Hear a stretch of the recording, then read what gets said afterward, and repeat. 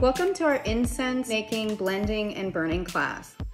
This class is intended for you to create your own recipe based on the materials that you have, or look at the magical properties that we provide to help you understand what type of incense you would like to make. We're offering different kits available, so this can be very easy for you to work with.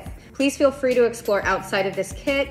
You can use different herbs, resins, or essential oils. But one of the things to make sure is that it's safe to use and safe to burn, right? So we're gonna be burning this incense whether or not it's on a stick, in a cone, or in a dry ground form. You wanna make sure it's safe.